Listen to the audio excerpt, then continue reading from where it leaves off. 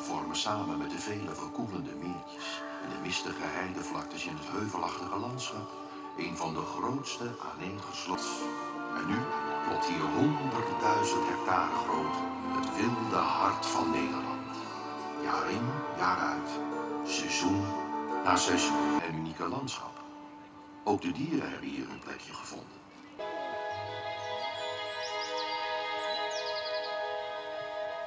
Ook in de winter zijn er op de Veluwe talloze vogels te vinden.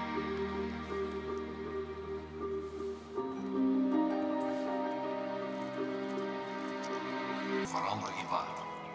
Dat is vooral prettig voor de vogels. Jongens wijnen het liefst in een rotte. Het rijdt. Ravotten. En dus is ze druk in de weer om een warm nest te bouwen voor haar jaarlijkse bevalling.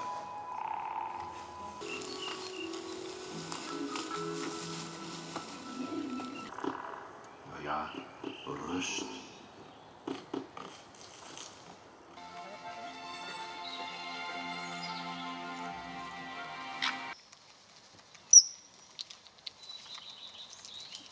Dat is duidelijk.